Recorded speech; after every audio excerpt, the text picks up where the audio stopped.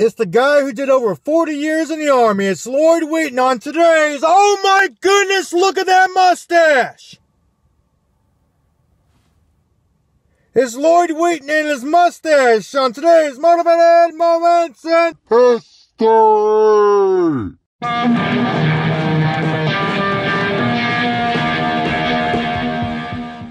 Loyd Wheaton was born in Michigan in 1838. Not too much is known about his life prior to the military, but no one cares. Look at that damn facial hair! That's the kind of the scruff I want if I was a Civil War commander who thrived on slaying some motherfucking bodies! Loyd entered the Army in 1861 as a first sergeant of the 8th Illinois Infantry, and less than a year later, he was the company commander. Three years after that, he was a freaking full bird.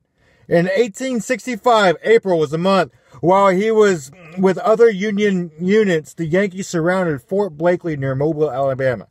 After a week of fierce fighting, they smashed the fort containing nearly 4,000 Confederate troops.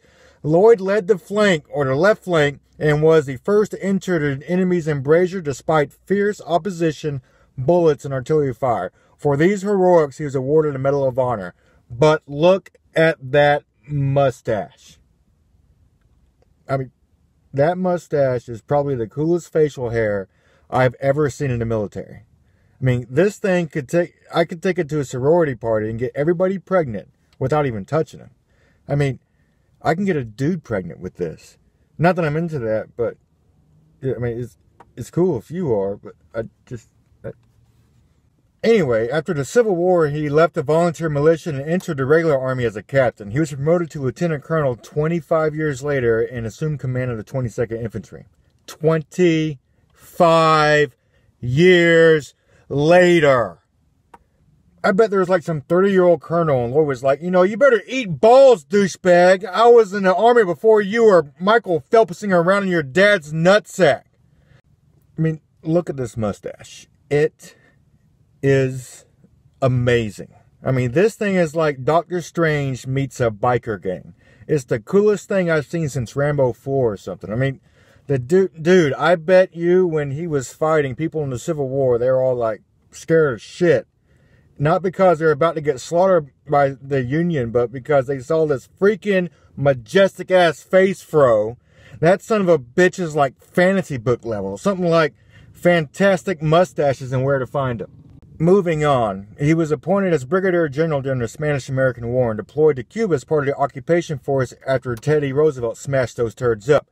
During the Philippine campaign, he served alongside Arthur MacArthur, father of the famed General Douglas MacArthur. You know, and Loyd, he was also the general who authorized the capture of the tyrannical Philippine leader, Emilio Aguinaldo. This dude's stash. I, I'm I'm sorry, I can't get over it. I bet women were lined up to get with this thing. I mean, they probably didn't care about Loyd. He was just some twerp from Michigan, but they wanted to bone down with his facial hair. I mean, the AR-670-1, you it really ruined it for us, you know. I mean, something like this. I mean, you got to be born with. It. A dude probably popped out of his mother's crotch, and the doctor was like, "Congratulations, you got a Hell's Angel." I mean, with a stash like that, I bet he was genetically engineered to kill people and you know, be a lumberjack or something.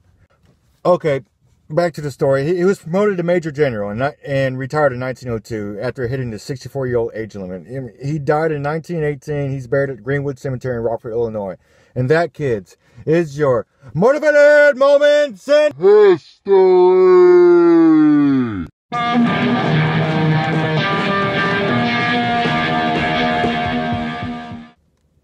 That freaking mustache. I mean, the AR 670 1 just ruined it. Ruined it. Thank you.